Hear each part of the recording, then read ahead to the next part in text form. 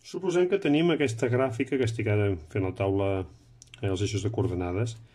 Eh, però tenim aquesta gràfica que és una gràfica amb intervals. Veiem aquí, gràfica aquí, amb intervals. Un interval és aquest, l'altre interval és aquest. El primer interval, aquest aquí baix, és una equació lineal, per tant serà una línia recta, perquè només hi ha una x, no hi ha x quadrat.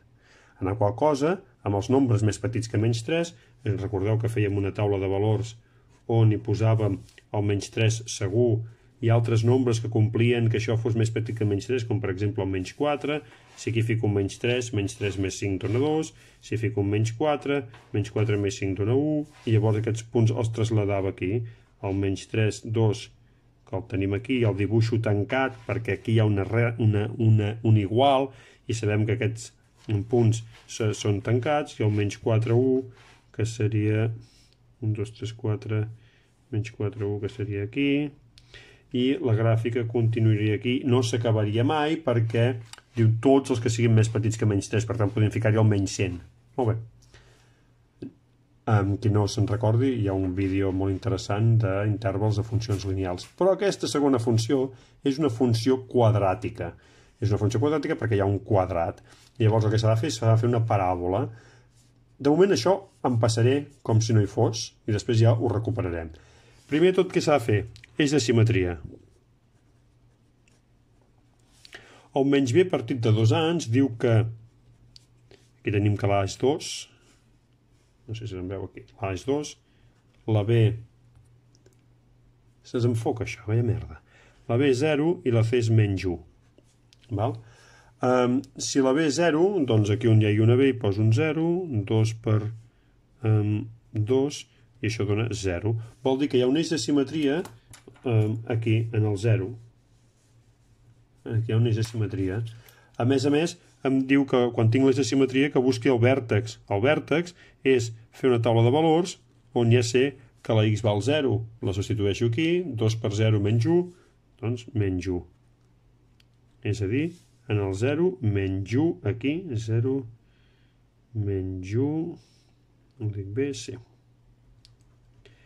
Hi ha un punt que és un punt, que és un vèrtex. I anem a veure el, el, els eixos de, el, el punt de tall amb els eixos. Quan la x val 0, de fet ja l'he trobat abans, i quan la y val 0. Quan la y val 0 me'n vaig aquí i faig 0 és igual a 2x quadrat menys 1. I això és una equació eh, de segon grau, incompleta, per tant les x en un cantó que no porti x amb l'altre, continuo, i la x és igual a arrel de 0,5 que això em donarà arrel de 0,5 0,70 0,7 tanta 1 si arrodonim dos resultats perquè l'arrel me'n dona dos. El positiu i el negatiu. Què vol dir? que aquí ficaré 0,71 i menys 0,71 i aniré aquí i el 0,71 doncs clar, molt a prop el 0 serà aquest i l'altre molt a prop del 0 serà aquest. Puc buscar altres punts per tenir altres referències eh? em podria inventar una altra taula de valors aquí amb algun punt.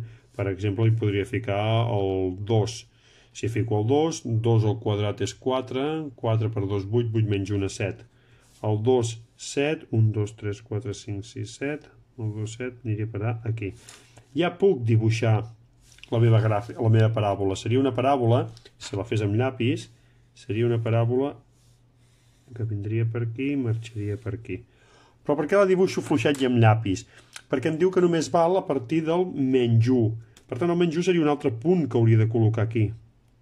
Val? Si jo col·loco un menys 1 aquí, el faig expressament aquí a poc a poc perquè la gent no se'n recorda de ficar el parèntesis, és una pesadilla, això t'ho juro, eh? I després, a més a més, menys 1 al quadrat dona 1, 2 per 1 és 2, 2 menys 1, 1, o menys 1, 1, menys 1, 1. Aquí, punt obert, no hi ha l'igual, i ara puc forçar del menys 1 nombres més grans que el menys 1, seria d'aquí,